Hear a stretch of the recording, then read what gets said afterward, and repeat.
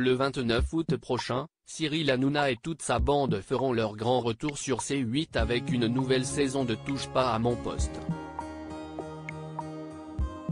Mais avant de reprendre le chemin du plateau télé, tous profitent à fond de leurs vacances. Certains ont choisi de quitter la France pour quelques semaines, à l'image de Gilles Verdet actuellement au Sénégal avec sa fiancée Fatou, ou encore Géraldine Maillet qui a opté pour une escapade en Italie avec son compagnon Daniel Riolo.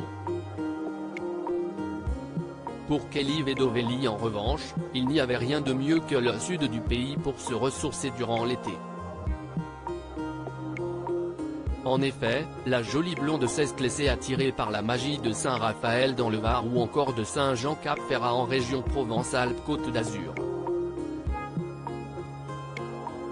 Mais depuis ce mardi 9 août, si est à Nice ou peut-être Cannes qu'elle semble avoir posé ses bagages. Sur Instagram, la jolie blonde s'est en tout cas affichée dans les rues parsemées de palmiers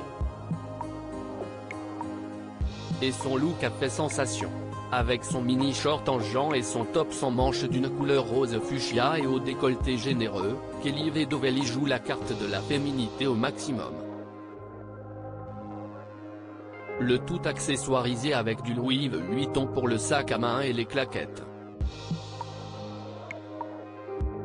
La beauté absolue, déesse, incroyable pépite, Kelly est-il à Pamela Anderson française, une bombe, tu es magnifique, lui adresse-t-on, conquis, en commentaire de sa publication.